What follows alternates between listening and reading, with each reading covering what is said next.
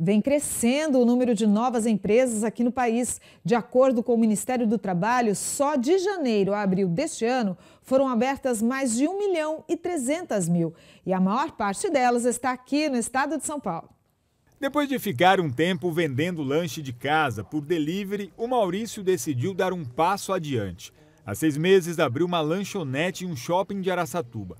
Além de ter aumentado o atendimento online, conquistou mais clientes também de forma presencial. Eu sempre gostei de cozinhar, os meninos gostavam do meu lanche, a gente teve a ideia de fazer um delivery disso.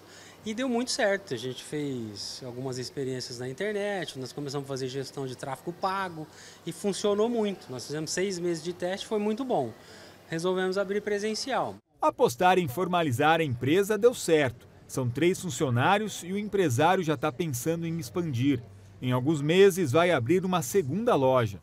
Eu penso em um modelo de franquia para ela e crescer até onde der. Se der para passar o Sr. McDonald's com 2.228 lojas, a gente tem essa intenção.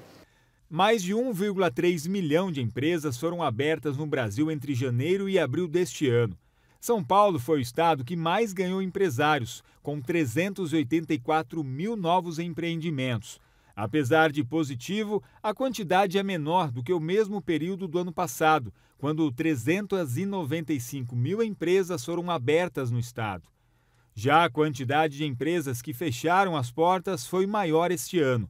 Nos quatro primeiros meses, 208 mil empresas encerraram as atividades no estado. No mesmo período de 2022, foram 157 mil empresas fechadas.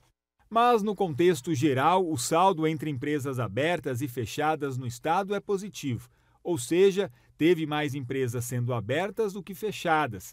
A Verusca em breve vai entrar para a estatística. Ela foi ao Sebrae para se tornar uma microempreendedora individual para atuar no ramo de estética. Sempre bom você adquirir informações aqui no Sebrae, que eles explicam certinho como que você abre a sua empresa, que tem bastante curso para você melhorar a sua empresa.